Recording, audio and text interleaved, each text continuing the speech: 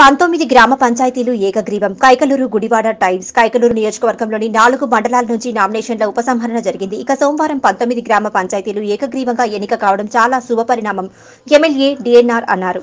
ఇది ప్రభుత్వం పట్ల అన్ని వర్గాల ప్రజలకు గల నమ్మకానికి నిదర్శనమన్నారు. ఆయా గ్రామాల ప్రజలకు ప్రత్యేక అభినందనలు తెలిపారు. కైకలూరు నియోజకవర్గంలో గల కైకలూరు మండలంలో మూడు కలిదిండి మండలంలో మూడు బండవల్లి మండలంలో ఐదు ముదినేపల్లి మండలంలో ఎనిమిది మొత్తం పంతొమ్మిది గ్రామ పంచాయతీలు సర్పంచ్లో ఏకగ్రీవం అయ్యాయని అన్నారు. ఇక సింగరాయపాలెం గ్రామం నుంచి బోయిన విమల వేమవరపాడు గ్రామం నుంచి నున్న రాంబాబు చాటకాయి గ్రామం నుంచి ఘంటసాల శేషారావు గన్నవరం గ్రామం నుంచి గుడివాడ శ్రీదేవి సింగర్పూడి గ్రామం నుంచి బొమ్మనపోయిన కనకదుర్గ పెద్ద కామనపూడి గ్రామం నుంచి సైడాల శ్రీనివాసరావు సంతోషపురం గ్రామం నుంచి ద్రోణాద్రి వెంకటేశ్వరరావు పుట్లచెరువు గ్రామం నుండి గురుగుబెల్లి వెంకటేశ్వరరావు చేవూరు గ్రామం నుంచి వల్లభనేని లక్ష్మి గురువాయిపాలెం గ్రామం నుంచి బత్తిన ఉమామహేశ్వరరావు గోనెపాడు గ్రామం నుంచి పత్తిన శ్రీకాంత్ ఏకగ్రీవంగా ఎన్నికయ్యారు.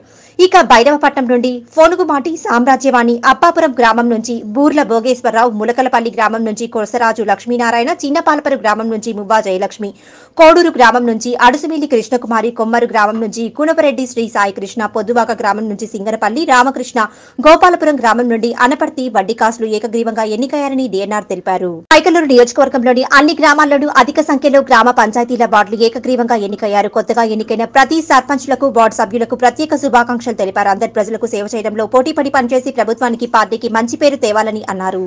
Thank you.